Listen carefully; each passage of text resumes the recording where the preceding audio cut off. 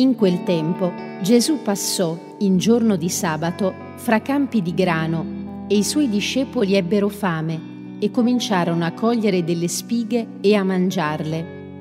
Vedendo ciò i farisei gli dissero, Ecco, i tuoi discepoli stanno facendo quello che non è lecito fare di sabato. Ma egli rispose loro, Non avete letto quello che fece Davide quando lui e i suoi compagni ebbero fame?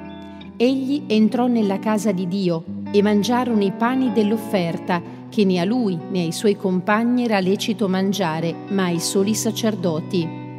O non avete letto nella legge che nei giorni di sabato i sacerdoti nel Tempio violano il sabato e tuttavia sono senza colpa?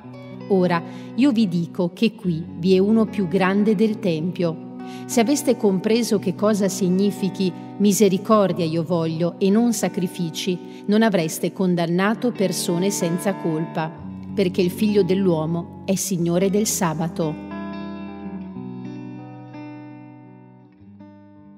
Come sacerdote svolgo il mio ministero in una parrocchia di Mare Arizzone. Abbiamo le messe a tutte le ore e quando celebriamo quelle serali alle 21 Capita a volte che qualcuno mi venga a chiedere se può fare la comunione, dato che in albergo finiscono di mangiare alle 20.30 e quindi, facendo i conti di quanto dura la messa, potrebbe essere che la comunione arrivi alle 21.25.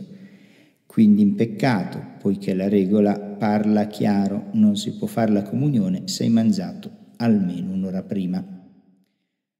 Una volta mi sono trovato una vecchietta che mentre gli stavo dando Gesù, invece di rispondermi Amen, mi ha detto, Padre, io ho finito di mangiare alle otto e mezza. Io sono rimasto spiazzato, ma ormai avevo consegnato l'ostia nella sua bocca. Non è facile far capire che la legge è per l'uomo e non l'uomo per la legge, che il sabato è per l'uomo e non il contrario.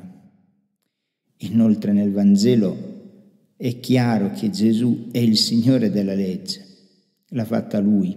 Come potevano i farisei rimproverarlo circa la trasgressione di un precetto di cui Gesù, essendo Dio, appunto il creatore, è l'unico che ne conosce il senso più vero?